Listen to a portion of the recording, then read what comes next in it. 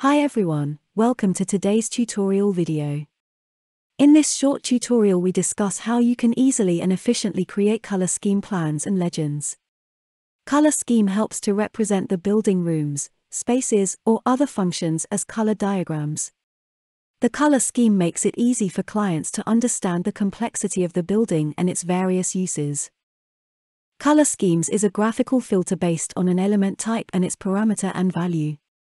Color schemes by properties help to represent the model with colors and help to understand the content of the project. Archline XP recolors selected elements by property, action, and value. An obvious use is the comprehensible representation of rooms with color schemes. In addition to the room, other elements of the building can also be displayed, so that customers can easily understand the complexity within the building. Let's start by creating a room color scheme, so we want to color each room according to its name, and then we can create a legend to show the relationship between the color and the name. Archline XP includes some factory settings, for example, the color scheme for arranging rooms by area. Let's see how we can create this in the project. The color schemes will be accessed under the Annotate, Color Fill menu, and within that I will select Color Schemes, Color Schemes. Let's look at the structure of the dialog. First, we can choose from the disciplines, and within those, different elements of what we want to make a color scheme from. If we select an element, we can add different properties to it and create a color scheme from it. At the top right we can see the pre-made color scheme. But let's see exactly how we can create a new one. So, as I said, I'll do the room, room type again, and then I'll delete it. I click on the room, then I select the room type, then I click on the plus button and it's going to be added to the color scheme list. I can add the data from the floor plan to this list here, using the import from floor plan command. Now we can see what colors the program will use to mark the listed rooms. If I want to delete a color scheme, I can do so by using the delete button. I will delete this one, as I have already created one beforehand. We can see the same colors here. If we want to change a color, we can do that too. If I'm done with all the settings, I'll accept it and the program will automatically update the floor plan, where we can now see the color scheme according to the room type. If I want to turn this color scheme off or change it to another one, I can do so in the Properties menu, under the Color Schemes command. Clicking on None restore the original state of the floor plan. Let's see what color schemes are in the program by default. The following color scheme, Rooms by net area. This is what I will choose now. Here we can see the color scheme by area. Let's see what settings this has. I'm going to go back to the color scheme dialog, and we can see that the active color scheme is displayed here. It's set to highlight areas smaller than 6 square meters in green.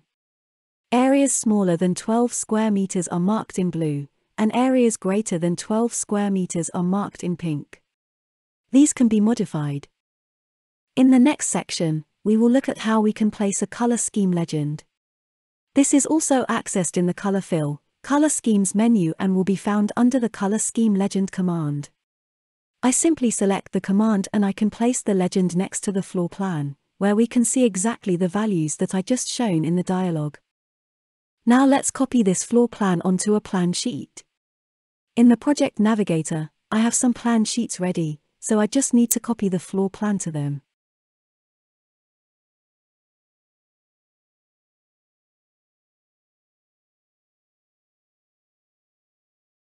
I choose Documentation, Plot Layout, Copy Part to Plot Layout with a rectangle, and I'll copy this area, so that the legend is included.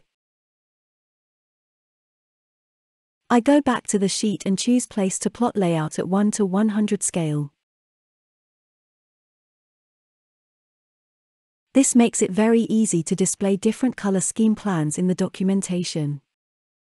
I go back to the floor plan and select None from the Properties menu, which restores the original floor plan state. Now I'm going to create the color scheme by the thickness of the walls. In the Properties menu, I select the walls by thickness and place the color scheme legend next to the floor plan.